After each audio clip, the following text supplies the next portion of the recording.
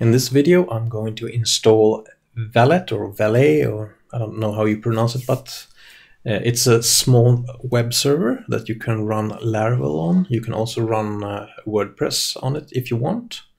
So head on to Laravel's homepage and look for the documentation.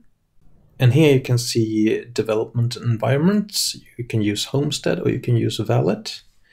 If you use Homestead, you need to have a virtual machine, and that is you need to download something like a VirtualBox and Vagrant, and then install Homestead, and it, it requires a lot of memory. And Valet is an alternative to that, which has a very small footprint. I think it's about seven megabytes of uh, RAM, which is nothing.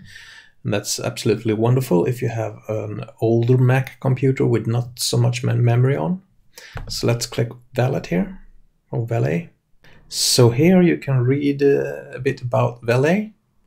And these are the things that it supports. It supports Laravel and WordPress and Cake PHP and a lot of other stuff. So Valet or Homestead, here it explains why you should use Valet or Homestead. So here installation uh, documentation. We have already installed Homebrew and we have installed the latest version of PHP 7 and we have also installed uh, MariaDB. So now let's just install Valet. Composer Global require Laravel Valet or Valet. Open up your terminal in your home directory, paste that in.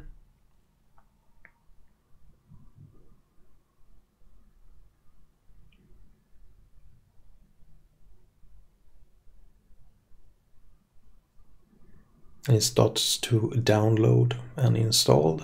Uh, not install, but download the installer package.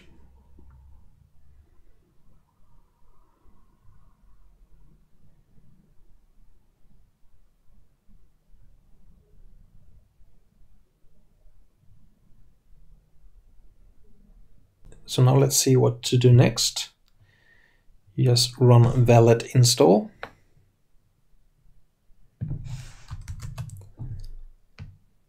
In your terminal, home directory, I think it's right. Valet command not found. All right. So I think this is due to that we don't have the path set for Composer.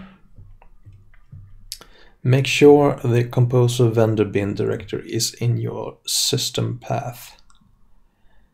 So we can print the system path if we want. That is echo.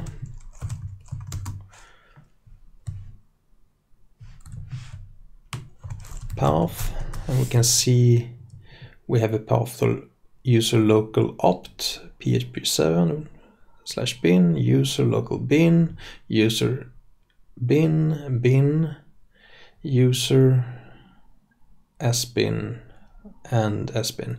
We don't have the path to um, composer. So let's fix that. So we need to create a path for this directory and we need to do that in our .bash underscore profile uh, file. So uh, let's open up the terminal. Uh, and we list um, all thing in our home directory and looking for a .bash profile uh, file. And we can see that that doesn't really exist here. So we can create that by writing touch and uh, tilde for home directory bash profile and this will create the file. So ls-la and we should now see it. Here it is bash profile. So this is the file that we should edit. So to do this we can open up a text editor and write the export path for our um, new path so let's open up terminal here, uh, or uh, Atom.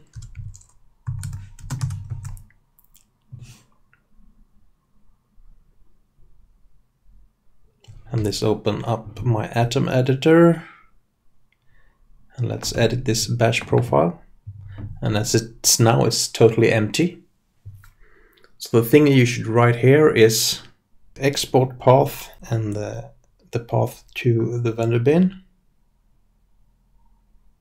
and we save this file and what we need to do now is to go and um, source this and the file is called bash underscore profile.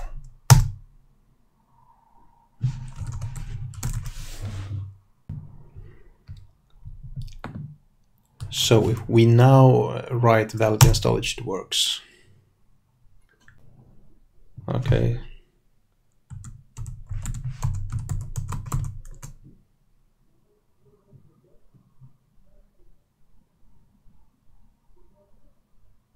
and now it's starting to install it.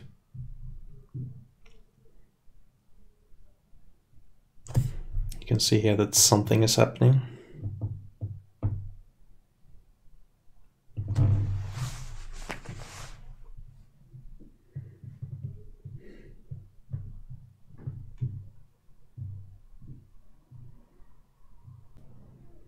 So Valet is installed successfully.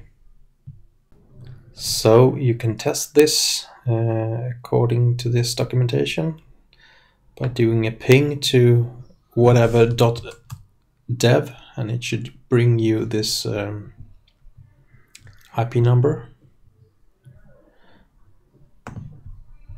So ping foobar and yes, it's ping 127.001.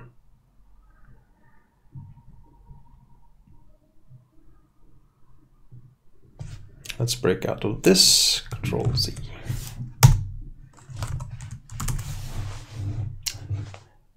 So now uh, Valet should be installed and ready to use. And you don't need to start it uh, when you turn on your computer or something. It's always in the background.